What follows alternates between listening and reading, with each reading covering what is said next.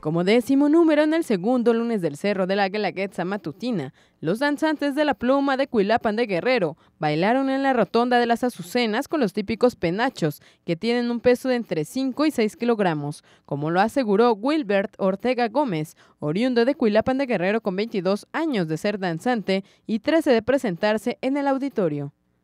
Agregó que en la Guelaguetza solo se presenta un extracto de 15 minutos de dos días que dura la festividad y mayordomía a San Lucas Evangelista, bajo la historia antes de la conquista de los españoles, donde a través de la danza y ceremonia se adoraba a los dioses. La historia principalmente de la danza de la pluma consiste en que antes de la llegada de los españoles aquí en el Valle de Oaxaca, específicamente en Cuilapam, se llevaban a cabo danzas, ceremonias y bailes rituales en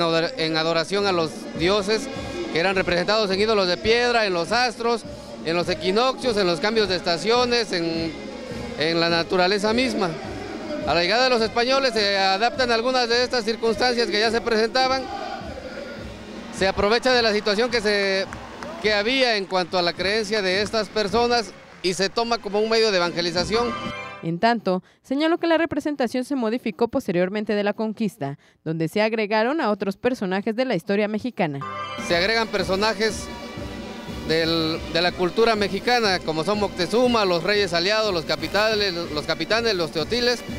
y también se incluye la presentación del bando de españoles encabezados por Hernán Cortés y Pedro de Alvarado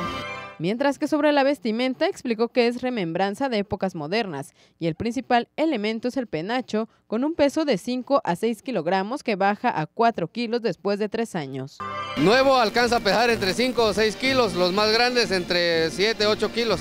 Ya con un poco más de uso su peso reduce a, a 4 o 5 kilos. Con imágenes de Mónica Martínez para MBM Televisión, informó Metzri Beltrán.